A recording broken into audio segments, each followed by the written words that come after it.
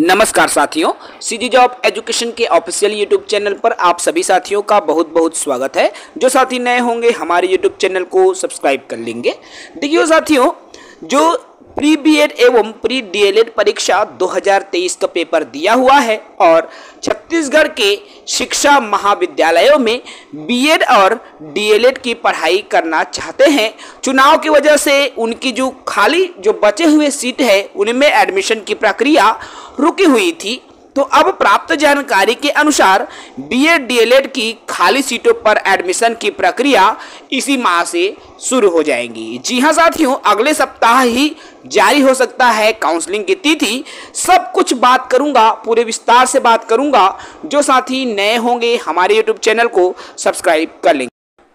जैसा कि ये पेपर कटिंग आपको स्क्रीन पर दिखाई दे रहा है बीएड डीएलएड की खाली सीटों में प्रवेश इसी माह शेड्यूल जल्द।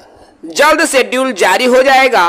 देख सकते हो, यहाँ पर साफ़ तौर पर लिखा है कि बीएड डीएलएड की खाली सीटों पर प्रवेश की प्रक्रिया इसी माह शुरू होने की संभावना है। इसके लिए अगले सप्ताह निर्देश जारी हो सकते हैं।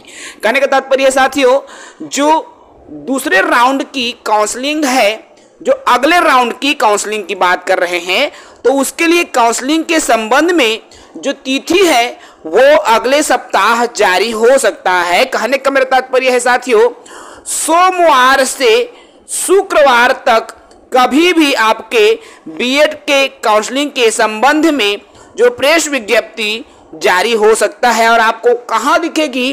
तो S C E R T जी हाँ एस सी आर टी के ऑफिशियल साइट से आप देख पाओगे। जैसा कि आप सभी जान रहे हैं, दो राउंड की काउंसलिंग के बाद बीएड और डीएलएड में साढ़े तीन हज़ार के समथिंग अर्थात तीन हज़ार तीन सौ से अधिक सीटें खाली रह गई है।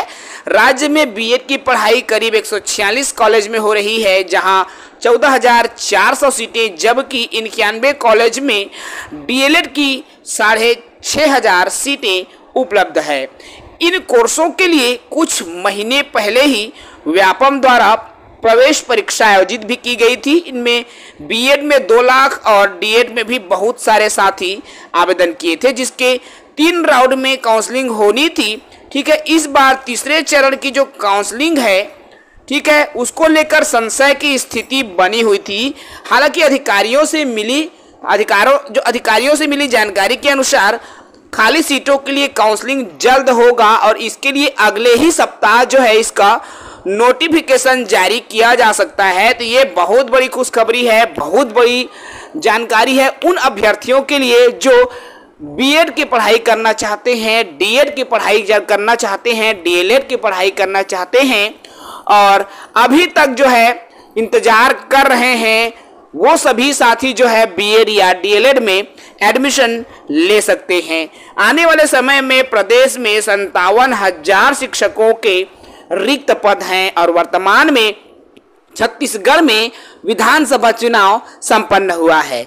जिसको देखते हुए ये अंदाज़ा लगाया जा सकता है कि बीएड और डीएड करने वाले साथियों की जो कैंडिडेट्स हैं, उनकी संख्या काफ़ी ज़्यादा बढ़ोतरी देखने को मिल सकती है। फ़िलहाल इस वीडियो में इतना ही।